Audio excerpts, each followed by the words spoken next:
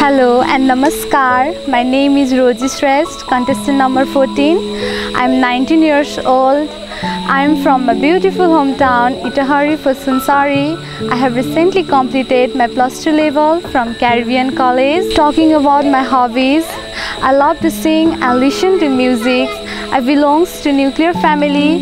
My mom and dad is my greatest source of inspiration and support for me and my aim is always to make them feel proud of me. Being the reason of someone smiles makes me happy. I'm also ordinary girls like other contestants but with extraordinary dream. My training class helps me to nourish and explore my hidden potential and I also learn to believe in myself. I'm very thankful to all the people who have supported me and loves me. Thank you.